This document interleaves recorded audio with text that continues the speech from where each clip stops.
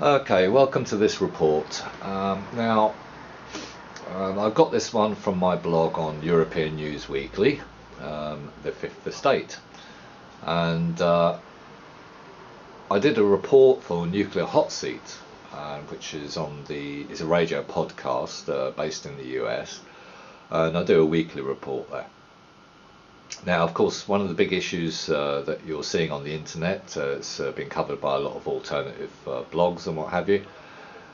We're looking at the issue of the radiation spikes that were uh, reported in January. Uh, well, they were they happened in January, but they got reported in February. And I just wanted to expand because I only get five minutes on Nuclear Hotseat to actually explain what was going on. Now, the actual releases in January, that was one big plume of iodine 131, uh, which comes from uh, either criticalities, nuclear explosions, or medical sources. So, uh, so a reactor that makes medical isotopes uh, for cancer treatment and, and other things as well. So what we saw was that the iodine 131 release uh, that was reported in January uh, by a French uh, uh sort of NGO or a French uh, organization, and they basically turned around and they, I'll just take us to that right now. Right, so this is the picture that you'll probably be seeing on the internet, and I just first I think I'm going to zoom in on the source. Okay, um, we're looking at Poland had uh, 5.92 plus or minus, you know, and I think that's actually uh, micro uh, becquerels per per. Um, actually, I don't know what the re- reading is on this one. It doesn't actually say. But bottom line is, when you're looking at it, uh, it's a very, it's quite a low amount, okay, which was measured in the air, and we were looking at. Um, uh, as we got further away up into Norway, we were getting much lower 0.5, 0.27, and then the south 0.3. So as you see, as you go further south, you start to see higher values for this iodine 131. Now, if we go out to Spain, we get 1.28, okay, and then when we come into France, we're getting much lower values. Um, sort of you know, a tenth of that value. And then when we're coming further sort of to the west, we're looking at 0.45, uh, sorry, to the east, we're going 0.45. Uh, it's kind of measured in southern Germany, but these are the mountains, these are the Alps all around here. Okay, and what you'll see is if the iodine is released into the air, wherever it rains, you'll get a hot spot. Okay, so as we move further, we're getting 5.92. The highest value was measured in Poland. Now, there's no measurement in the Hung- Hungary, Czech, um, Ukraine, Belarus, uh, and these these all have working monitoring systems. And we have something called EURDEP. I'm just going to take you there. So, EURDEP. Uh, we'll go there. Right, let's pop that up you have to click accept on this one. Oh, should I center this up? Yeah, I think I will. Uh, so we'll go on to EURDEP radiation monitoring and if I just pull the screen back a little bit you'll notice that uh, Ukraine still is switched off okay um, so what we're looking at really is uh, you know certain ones in Sweden are switched off at the moment. Portugal is switched off. Uh, that's down there. Portugal is switched off. Now there's there's been various releases recently. Okay, and when I take you there, I'll just show you this. Now up here they've got one day. So what I'm going to do now.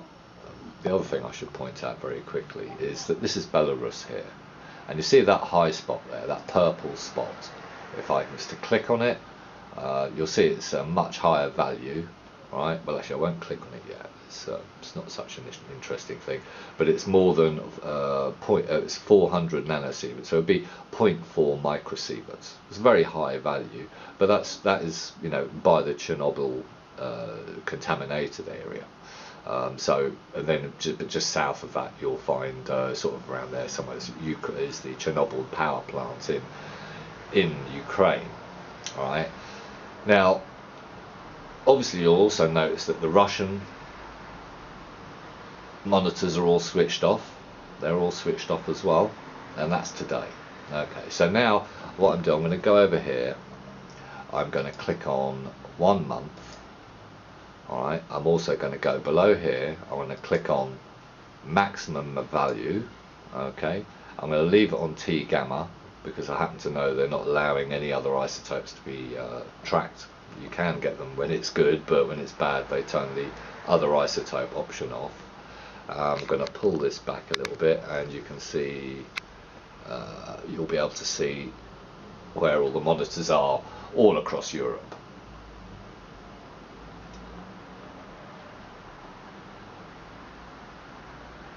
Okay, and now now you can see the map as it should be working, where all the all the actual monitors are connected up to the EURDEP system. It's quite extensive. It goes straight into Russia. Uh, we've got Finland, Sweden. You know, Finland has uh, got a good uh, amount of uh, monitors. They're they're very efficient, and Russia. And you'll notice there's lots of spikes um, and what have you. So they're all over the place. Um, now th this one here, for instance, would be a uh, would be a reactor. We'll go to it. We'll click on it, and uh, we'll just show you the uh, the level of spike. Oh, hang on, I hit the wrong one there. I'll have to zoom in a bit more. They've uh, they've got there'll be two of these actually. Oh, there's three. All right, let's pick one. All right, hopefully this one should come up okay. And this is because Alright, we've got up to uh, 6,400 nanosieverts and to convert that into microsieverts we're going to go 1, 2 and uh, and then basically we've got uh, what's it, I think it's 6.4 uh, 6.4 microsieverts peak. And if I click polyline oh hang on a minute. There you go sorry. Uh, pick polyline you can see that there's this alright so 800 is uh, 0.8 microsieverts, okay, and uh, well, we're, nearly up say, say it's nearly about six microsieverts. It's a peak. It's a very short peak. I think it lasts for about an hour, and it's because this uh, reactor is off gassing its gases. It's doing a refuel, and um, it's likely to have bits of cesium, iodine, and all sorts in it. Um, if we were to pull this one back, uh, they obviously had another one uh, within a, a, week. So we go to two days. I know, try. We'll have to do a week. There's some missing data. You'll see there's some missing data here on February the 20th uh, to the 21st. So, and uh, so basically what we're saying here, and I would say on February the 22nd, which is this morning, they've switched off again. Now, this is quite normal uh, when there's a radiation release or expected radiation release from a nuclear power station uh, because they don't really want those spikes popping up all over the place. Uh, they tend to take them off, and they, you know, uh, under orders of the International Atomic Energy, Energy Agency, who run the German server for this particular one. There's another one in Italy as well. Uh, but the German one can switch off these monitors so people like me can't find them. Um, if we were to go here, uh, well, I mean, basically, what would, yeah, let's, let's have a look at this one. So we've got another purple spot, if you like, and uh, this is Hungary. So this is the area which I'd be concerned about. You'll see there's a gap there again. Alright, now that's showing that there is, and I'm going to hit polyline, so because that normally show any, yeah, we've just got a line there, you see, uh, on February the 5th, that's, you know, after January, so on February the 5th, um, and that's basically because they wanted to hide the big spike that you saw in Germany there. And there's another little break there, and there's another little break there, and another break there. So over the last couple of weeks, there's been some issues. I'm going to go back a month. Now going back a month once again, we're not seeing any, there's, there's data missing there. We've got a little blip there. There's data missing there, and we're, we're, that's the January period where basically we're, we're looking at um, a, a, release, a big release over some hours, um, which could have been that little gap there, and there are there is a little tiny gap there as well. And uh, I suppose if we zoomed in, we'd see. I think it looks like another little gap there. But the bottom line is, is around about the 4th or 5th of January, there was some issues. Um, but what we're saying here is that Hungary are very good at hiding these large peaks. Now, this peak could have been, you know, it could have been 20, 100 millisieverts, microsieverts. It could have been anything at all. Um, and most importantly is what isotope was it? Was it radon uh, that you get from uh, doing refuels with some iodine some cesium, or was it mostly uh, iodine with different iodines? Now, going back to the map, I want to tell you something. The IAEA, their server here, they have access to much more details. And if I bring you over here, you'd get an idea of the type of nuclides they're able to access. And if you look at this list here, it's a very extensive list. It goes uranium, thorium, gamma, T, beta. Uh, these are all types of energy. Um, and of course we've got the specific isotopes, PB214, PB210. Uh, let's have a look and see if these are working. Sometimes they don't they don't uh, hide these so much. So I've just clicked it, it's refreshing. And okay, so we're getting the Germany is actually showing some peaks. And let's go to that. now, if it was the Hungary one, we'd expect to see peaks of iodine. Okay, uh, now this is in becquerels per meter cubed.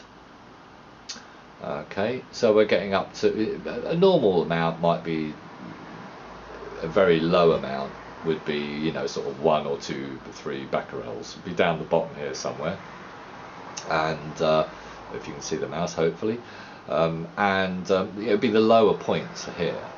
And as you can see here, in January the 29th, it was uh, it was right up, right up at the top here, uh, 35 becquerels per meter squared.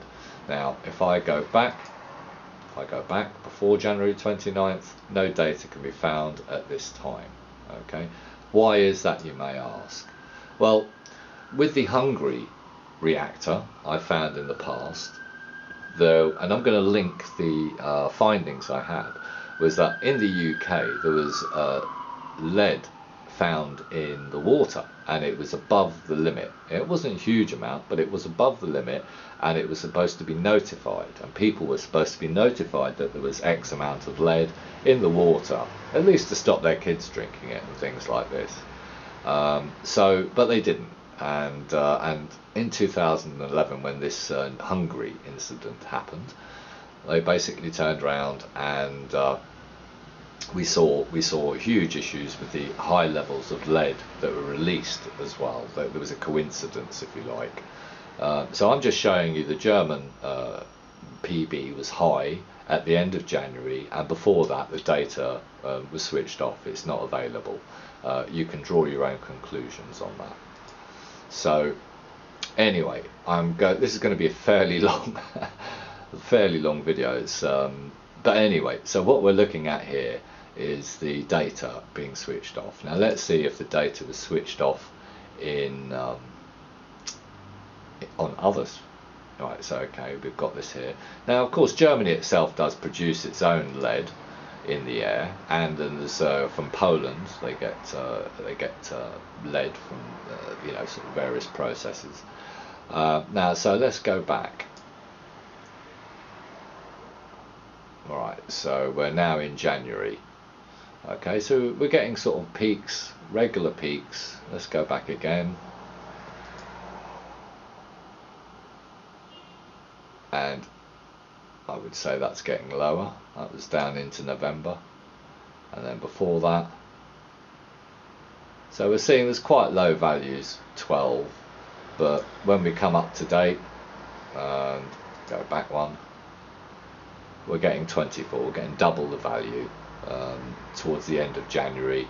Um, we're getting little peaks now as well, and we know that the uh, things are switched off, the monitors are switched off.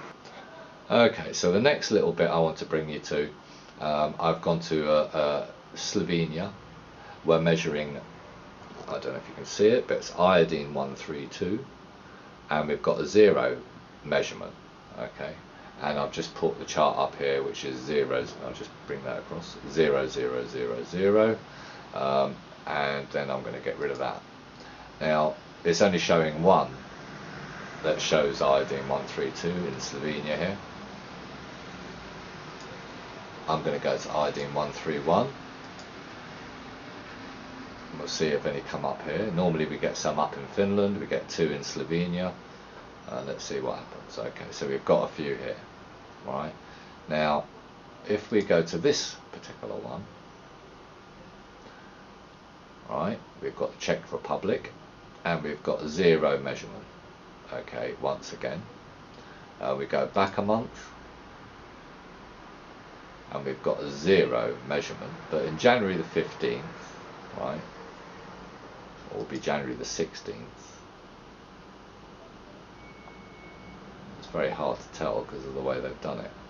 Uh, let's do it uh, one week at a time. Alright, we'll go back. We'll go back. Okay, so they're not measuring any iodine from February the 6th. Okay, but let's go back a bit further. February the 6th. So January the 30th to January the 24th. The si oh, hang on a minute. January the 30th. Hmm. There might be a gap there, but anyway, let's go back further. January the 16th. They've all got zero measurements. So Czech Republic, according to this, didn't measure anything. not so sure that that is the case. This is another area. We've got an orange one here. Or yellow, I should say. Okay, and here actually is very interesting. We can see it's switched off. You can see the gaps in the measurements, right? Um, taking a measurement uh, midweek every week or something by the look of this, all right? Um, let's do polyline. And you can see they do one measurement a day. Now they do actually have this live, right? And when we go to January, you can see it's all been switched off. There's one little measurement there, but in the other sort of uh, weeks, nothing. And even in December as well. Okay, so that's that's another issue there. All right. So how are we going to find the source? Because they're switching off on EURDEP to hide, IAEA are switching off the map monitors, taking off the peaks, not reporting fully on EURDEP, which is the public map mapping system paid for by Europeans, uh, to find out what's going on, used by the emergency services to find out where plumes come from and what have you, so that they can manage emergency situations better. Um, and I've shown on other videos how they've uh, uh, uh manipulated the system. Now, fortunately for us in France, there is actually this crowd, and there's also CRIIRAD um, and what have you. So, if I take you here, this is a report I did for Nuclear Hotseat. We're back here again. Now, what I did, I said here basically, uh, was that the Budapest medical isotope in Hungary in 2011 and 2012 had a big release. Now, so the 2011 one I was able to tie to lead in water, and it was found in birds, and this is all in the UK that I did my, my research. Um, and uh, the UK government stopped reporting it. Uh, you know, after 2010 was their last official report of levels of of, radia- of lead in water uh, and they stopped reporting it, and uh, and now they just say on their annual reports, uh, yes, no, the water, uh, the lead levels were okay. They don't give you the lead levels like they used to prior to 2000, uh, well, 2010 and before. Uh, they changed the format of the reporting, and mainly because of this medical Budapest Medical Isotope Institute in Hungary. So fortunately for us, a, a crowd called CRIIRAD, right, a French NGO, uh, who was set up after Chernobyl to measure uh, radioactivity, uh, managed to work out using using uh, the uh, the EURDEP sort of map where this radiation was coming from, and they found it in Budapest, and they measured iodine 125 and iodine 131. Um, and especially several kilometers from the nuclear site itself, there was heavy contamination. Okay, now they warned the locals not to drink milk and leafy vegetables. Now the iodine 125 is fairly problematic because whereas the iodine 131 is quite short-lived, iodine 125 in this situation was much longer lived. Now we never got reports tying in the lead, right, with this situation. Okay, but they did report more than one type of iodine. Now, uh, the iodine 125 you can't find. There's no option for it on the EURDEP mapping system that we were looking at. Now, they did a report and what they were saying was that the, this particular crowd and the nuclear lobby, the nuclear industry generally in Hungary, were hiding the releases. So when these uh, all nuclear establishments have to report to the IAEA and say, well, look, you know, we had X amount of um, you know, sort of uh, meters per cubed of release of this isotope or that isotope, you know, pollution basically, and that is noted down and reported on, and all the studies that the nuclear industry use are based off that. As I showed you there, where all the switch offs are, they're hiding peaks which would add to those becquerels per meter cubed to the annual amount that's released and so basically, we're seeing that that, that uh, Hungary were really bad because they were having a lot of extra releases that were went unreported. Um, the IAEA tried to cover that particular 2011 one up. They were saying it was Fukushima, it was Pakistan, it was here, it was there. But in reality, we did track it to uh, to Hungary.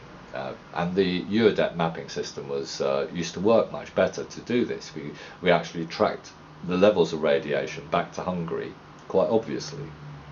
Now, CRIIRAD have done it in this case, but they've managed to get it to uh, two countries. Um, so I think they were saying either uh, Czechoslovakia or Hungary. But it, Hungary has uh, this this particular laboratory in uh, in or uh, not laboratory, but this particular uh, medical isotope institute uh, is is known for making big releases and huge plumes that cover the whole of Europe, it, it, especially with iodines. You know, um, so anyway, we, we went through it. I, I was just in my report. I showed little plumes. Uh, but I also linked, uh, reported on the German one. I reported that in Spain there was a bit of an issue there. Uh, you know, you know the, the neighbouring countries will do switch offs. Uh, I also reported that the Flamanville nuclear reactor that was um, had problems uh, the week or so ago. Uh, that you know having lots of problems and switch offs and refuels going on over Europe. And uh, what's happening is is that uh, it's confusing everybody as to what's going on. But it's just if you're aware of these situations, you know. I, did a report which showed that the wind gener- uh, wind directions from Flam- would actually head towards Ireland. Um, now that that was uh, when that was actually happening. It went across the Channel Islands, straight up to Ireland, and it would hit Cork. And in fact, about a week or so later, they obviously were doing some sort of release from that plant or a plant nearby, and it reached Cork, and it went from 0.1 microsieverts to 0.2 microsieverts. Now that's not big, but it was reported. But quite interesting enough, last Sunday, which would have been Sunday the 19th, early in the morning, I was looking at the uh, EURDEP mapping, and I realised that the Irish, all the Irish monitors were switched off. Um, now that was uh, that was just last Sunday. Now that could have been from Sellafield release. It could have been from a French release. Uh, it could even be from a Spanish release because these radiation, this radiation does travel. Okay, but this was a separate issue, you know, and it could conf- uh, confuse people if they don't aren't aware of that, that Spain has some really rancid uh, reactors. Um, and so does France, and so does the UK. They've got, you know, the, France and the UK have uh, Le Hague and Sellafield, which are nuclear reprocessing. They're often venting out uh, radiation, and they vent it out, if possible, not across the country because they're on the eastern side of the country, you know, on the coast. They will actually vent out when the wind's going out to sea, um, and possibly when it's stormy, so that the actual the whole thing will be uh, be mixed up. And of course, Ireland and Norway and Iceland, you know, and, uh, will will get hit, and it will come back into Europe as well, because generally you have circulatory. Uh, uh, weather patterns. They don't go in a straight line to America. They circle around, um, and they're hoping that by the time it gets to Norway, it will be quite low. Now you can see here the Norwegian monitor was switched off. This is the map from uh, Sunday morning I did. Um, so if it was Sellafield, the wind was going north, or if it was from France, the wind was going north, it would hit Ireland, it would hit Norway. There, would be little peaks, but they just hide those little peaks, partially so that you can't trace them where they're coming from, because I was doing that uh, uh, quite a while ago. Now, I mean, I did uh, NRPA also. You know, there was another issue there up in Norway. Why they're, why they're so sensitive at switching off their monitors because they're actually hiding their own nuclear disaster or accident at least, where the the thorium, the uh, you know the hope of the nuclear is the thorium reactor, and they have one working in Norway. It uh, produces uh, steam and it's used to uh, in a paper factory, right? But uh, the main point of it is it's actually uh, an experimental thorium reactor, which is uh, what the uh, nuclear industry hoped to uh, develop. Uh, but this one, anyway, the fuel, the actual fuel rods melted down in situ in October. Uh, they waited a while to report it because they do that so that you can't track the weather reports to see where these releases are coming from. So they have a, a general policy of delaying the report until the you know uh, for the latest amount, you know, a bit like TEPCO did in Fukushima, basically. So thorium reactors basically are, uh, you know, the, the fuel melted down, it started producing iodine 131, um, and they closed the building down, vacated it, and they've sealed it, and they reckon that they're dealing with the iodine. But there's been no more reports, not to say, well, we've got it sorted out now, we have dealt with the fuel, we've done this, you know, this is two months later, or three months later, really, and, uh, and, and there's no report on the NRPA uh, .no website. The last one was November the 4th, uh, I think, vaguely. So, um, so that's that's the issue there. So I, am going to sort of leave it here now, and uh, I just wanted to explain uh, to anybody who is interested what's going on in Europe at the moment. Uh, all this nonsense about uh, Russia um, is, is Russia does its own releases from its nuclear reactors as well. But in this situation, uh, we know where the actual radiation is coming from. And if you notice, read uh, some of the uh, articles that are put up by mainstream, they do mention medical reactor as well as other sources, but they do mention medical reactor. And to be honest with you, there is only one major medical reactor used in Europe, and that is based in Hungary. It's run by the IAEA. Uh, in terms of, and, and, it's protected by the IAEA, who have access to the European radiation monitoring, monitoring data. There is no need whatsoever for an American plane to come over and check out where the radiation's coming from. They're doing that as an exercise because there's so much radionuclides in, in the European air at the moment in the last few weeks and probably planned that they're going to use that to to uh, work out, you know, use the military systems to work out uh, with radiation plumes. It's an exercise. And of course, the papers have picked up on it and now they're saying, oh, it's Russia, it's Russia. No, it isn't. It's Hungary, it's the European Medical uh, Laboratory. Uh, and uh, medical uh, reactor that where old people get their sort of medical sort of isotopes from. It's under pressure, to create certain isotopes, they have to vent other isotopes. Uh, iodine 131 is one that they're throwing away, and other ones like uh, iodine 135 was it? Let me have a look again. Uh, iodine, uh, yeah, 135, lead, all these radon, all these are, they don't want those, they want the various other isotopes uh, for various other medical procedures. Um, and to create those, they have to they create a lot of pollution, basically. Um, now, so and th- this is a very old reactor in Hungary, so it is very dirty, and the people around there, there is a health risk. All right, maybe not for the rest of Europe, but there is a health risk for them. And that's it. Thank you.